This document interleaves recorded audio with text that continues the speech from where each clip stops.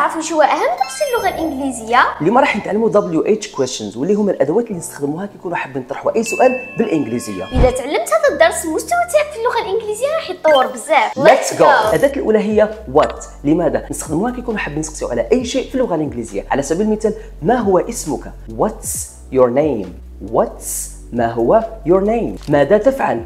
What are you doing؟ What are you doing؟ كم هي الساعة؟ What time is it؟ هنا راني نسقسي على الشيء What time is it؟ ماذا تناولت في الغداء؟ ماذا تناولت في الفطور؟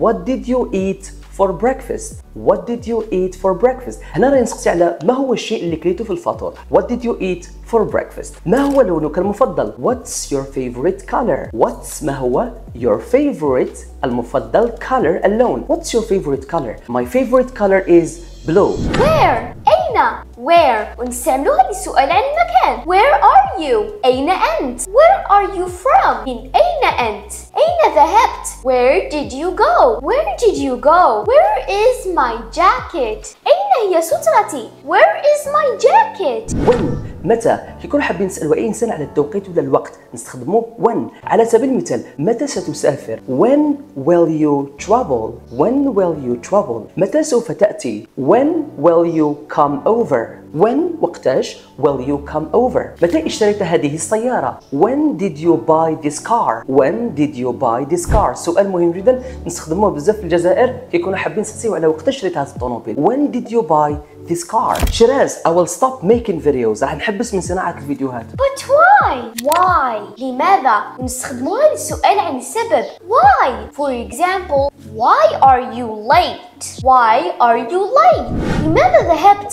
Why did you go? Why did you go? Why did you learn English? لماذا تعلمت اللغة الإنجليزية? Why did you learn English? هو من نستخدمه هو كيكونوا حابين نسقسيو على الشخص على سبيل المثال من هو صديقك المفضل؟ Who is your best friend? من هو؟ Who is your best friend? من صنع هذه الكعكة؟ Who made this cake? Who made this cake? من صنع هذه الكعكة؟ من هنا؟ Who is here? Who is here نستخدموها على سبيل المثال كي ندخلوا للدار ونسقسيو من في المنزل. Who is here?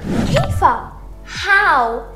How نستعمل كيف للسؤال عن الكيفية أو حال الإنسان For example كيف حالك؟ How are you? How are you? كيف فعلت ذلك؟ How did you do that? ونقدر أيضا نستعمل كيف للسؤال عن الكمية أو الثمن For example كم سعر ذلك؟ How much is it?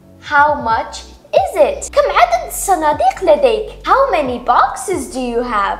How many boxes do you have? وصلنا لنهاية هذا الفيديو. ما تنسوش تشاركوا هذا الفيديو مع أصحابكم والناس اللي حابة تتعلم اللغة الإنجليزية باه تدعمونا أكثر. Thank you so much for watching. And we'll see you soon. السلام عليكم.